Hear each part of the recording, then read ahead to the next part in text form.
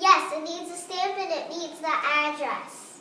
And remember, no candy in Wee Mail. Weemail! How do you send a letter in Well, it needs a name. And address. Don't forget the stamp. Wee Mail! I didn't stamp. What do I do?